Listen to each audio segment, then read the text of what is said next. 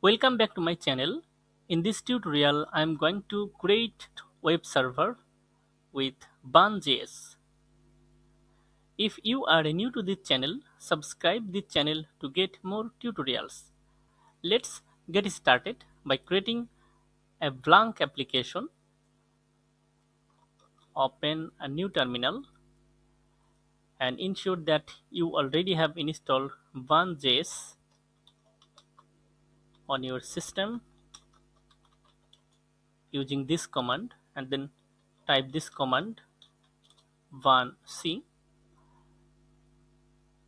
and then copy this command to create a blank application.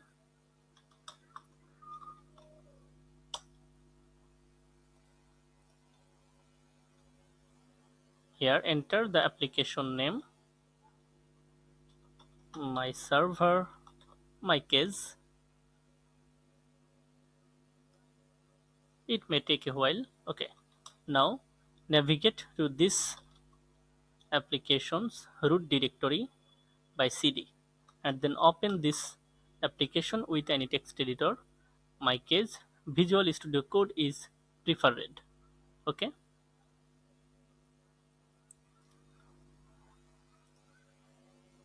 Bun's HTTP server is built on web standards like request and response. So I'm going to create one server by following its official documentation.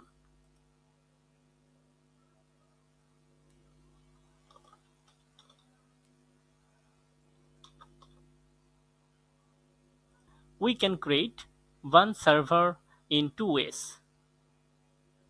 Using export default that is an object with a fetch function.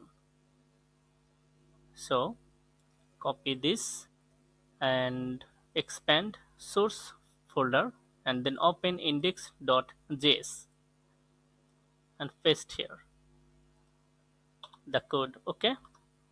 Now I am going to change the extension of index file to TypeScript. Okay. Bun server run with a default port 3000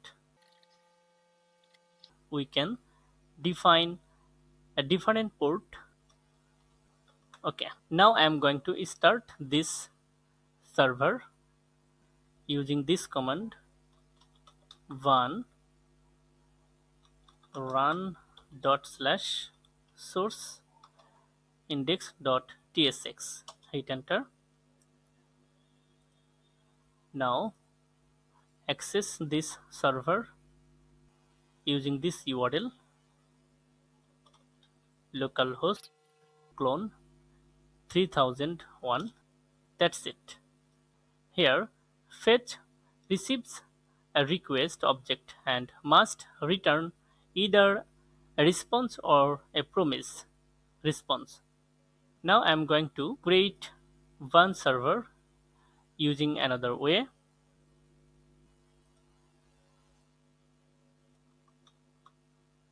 Now restart the server. Here change the port number, use default port that's it. We can define our own port number here. Restart the server. Access by this port number okay?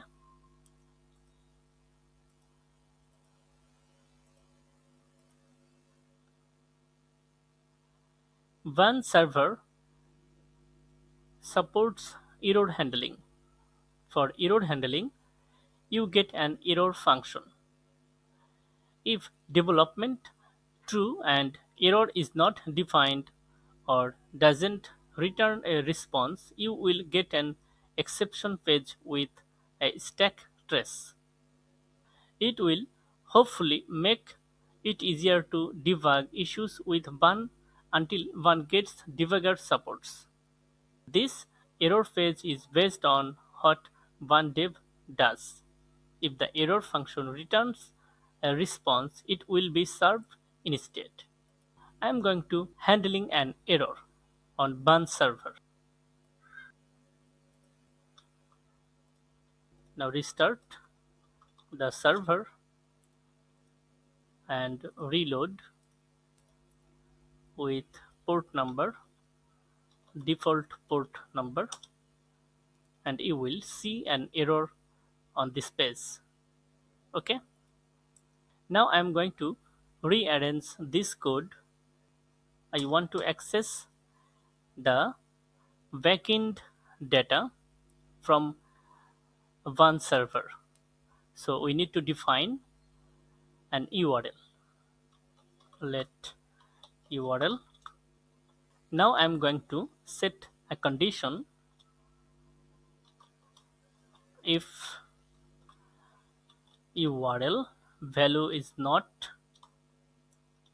true it will throw an error. Whether it will return a response. The server will respond with a message my first Bun web server. Okay. Now restart the server and reload. It is not working because here has no URL now I'm going to assign URL here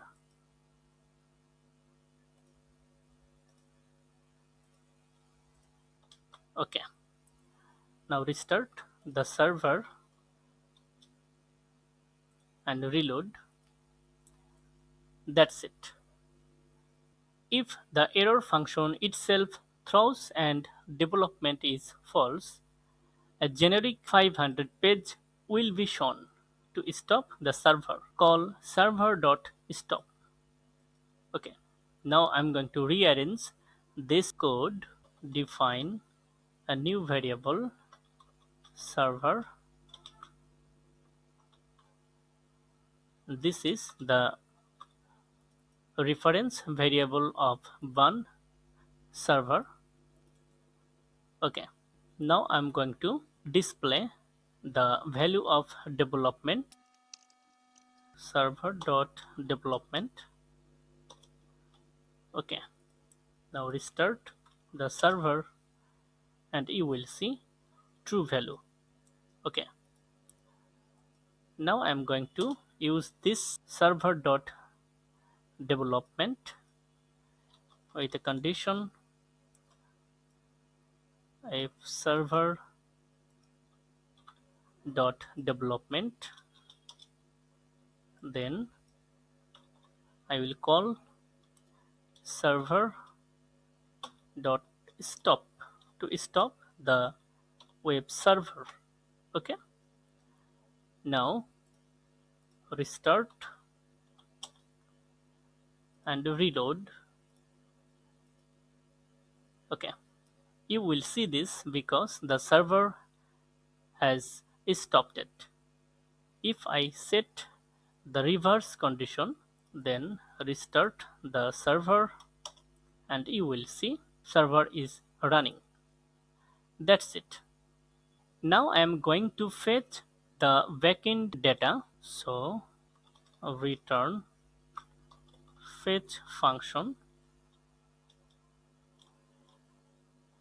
Here enter the URL as a parameter inside fetch function.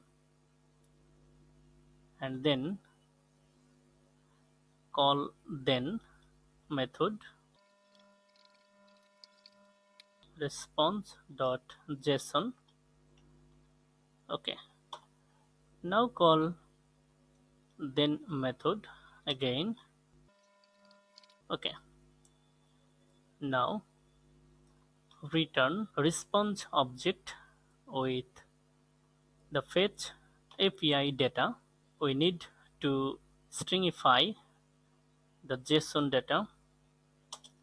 Using JSON stringify method. Okay. Now save this file and also we need complete URL. I am accessing the API data from this backend URL. So we need the complete URL.